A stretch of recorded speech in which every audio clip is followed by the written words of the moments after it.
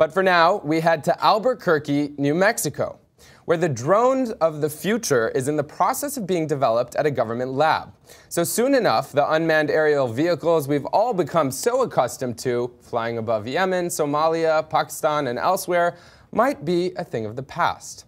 See, these new drones will not only soar through the sky on their own, but the Sandia National Laboratories released this video showing off a conceptual design of the quote multimodal vehicle concept.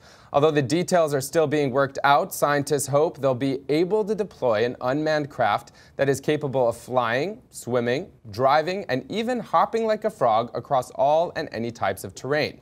Yes, the frightening further augmentation of drone technology would mean that Sandia could create a single drone that could be launched from a random station, fly through the sky on its own, land in a river, navigate to another location, then pick itself up from the water and walk to a site where it could begin gathering intelligence. The laboratory says its intelligent systems, robotics, and cybernetics office has been working hard to combine the different types of drones currently available into this new concept.